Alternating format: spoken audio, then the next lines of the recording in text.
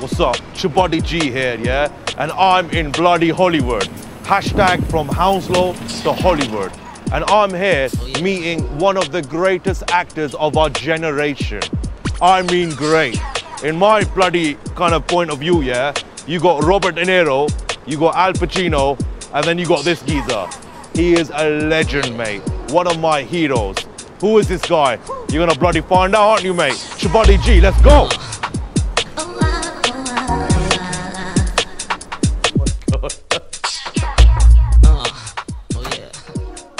It's only bloody Ron Jeremy. Oh, damn, it's too late. I already put this on the door. what a Oh, legend. that's nice to meet you. You're, Hey, you're the interview? I'm Chabuddy G. I'm gonna interview you, mate. I can't bloody on in. believe it. Ron Jeremy, his dick's massive. I can't believe it. Right, I'm sitting next to a complete legend, mate. Yeah, Ron Jeremy. Ron Jeremy. My name is Chabuddy G, and I'm your biggest fan, mate. It is an honor. If you want to sit next to me, you have to bring your chair a little closer. Oh my God! It's- See that? I can feel the greatness. I can feel the girth. It's not so much you. I want to see what that shirt is. Let me see Okay, that. that shot is actually me. It's a it's a spoof of the Kate Moss kind of shoot doing, and I'm doing a kind You, of look. you look. a little bit. Has anybody ever told you you look a little bit like me?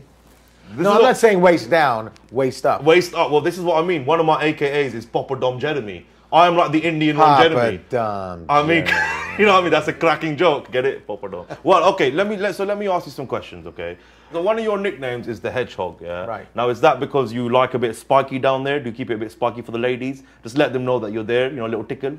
It's not attractive. No, no, no, no. Keep it. You actually look better when you shave it a little bit. It looks bigger here's too, right? Always. Yeah. Yeah. You, you shave back the shaft a little bit, and a little, little bit up to the pubic hairs. Right. And then you shave it, and then you look. It makes your dick look a little about about an inch or so bigger. Well, uh, you know, here's another question that I think a lot of guys want to ask. Now, we put ourselves at risk for women all the time when we're shaving our ball sack. It's a very dangerous, dangerous thing. I've almost cut the ball bag open.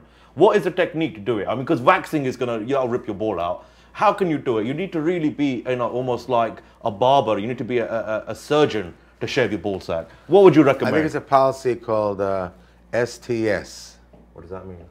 Stretch the skin. As long as you're stretching the skin, take a handful of balls. Might even feel nice.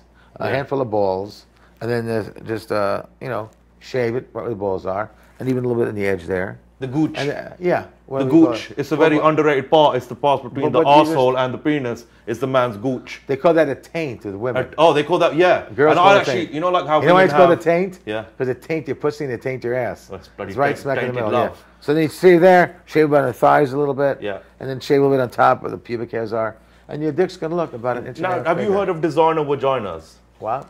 Designer vaginas. When women get their vaginas kind of, you know, Uh, Oh, uh, yeah, yeah. rubies and diamonds, all that shit. I've heard like, that. that's nice, but I was thinking men should have it as well for our gooch. So we can do uh, Gucci gooches. I just You know? a, A bit of glitter, a bit of all that kind of stuff. Just, on I the, just for like- the man. You know, it's equal rights, mate. Come on. I, you don't know. Is that a bit weird? But look, uh, who am I to talk? If you're together with the same woman, like I have variety in my life, I have more than one woman. So do you probably, right? Mm-hmm. Of course, And probably a, players. cou- probably a couple of guys and a farm animal. Why But with me, it's girls only. 2017. Yeah. And girls, farm animal, which one? the sheep. How was it? Not bad. All right, Ron. Basically, yeah, I want to ask you, Ron. Yeah, you know, we've had a little chat. You know, I know there's going to be a, there has to be a feature movie on this legend, Ron Jeremy. And I was thinking, when they do make it, I want to audition to you right now to play you in the movie. So can I audition for you? uh, well, in order to play me, you have to have one hell of a schmeckle. Okay. Well, that's what I mean. I kind of think like for the movie, you know, if I can audition for you, Well, that's one of my USPs. I was- first of all, I was you know, my, my USP is my unique selling penis that I've got a micro penis. Maybe if I can just show you quickly. yeah. So like, I mean, obviously Uh, Actually, you can camera. make it in. Look, Yeah? I made it. Oh, this is gonna be Okay, have a look. What do you think of it? Can I make it? Well, So can we say- do something One then? thing is for sure, they say all men are created equal. Not really, you know. I th- I thought you'd be smaller than that. And it's a it's a grower, you know, and it all depends on lighting and the temperature as well. So you know, it's uh, it's a very And shave it up, you get an Yeah, I got to shave it. I'll use the ball sack technique, stretch it out. All right, Ron, thank you so much for this interview, mate. you. Chabuddy G, Ron Jeremy. This has been the interview. Look at this. Big up, mate. Um, you, uh, it's an honor thing. If you could maybe just say, big up Kurupt FM. Big up, Big up Kurupt um, FM. big up, big up, Kurupt FM. FM. Hold See? on, wait, wait. I'll make it better for you. Big up, Kurupt FM. Come on!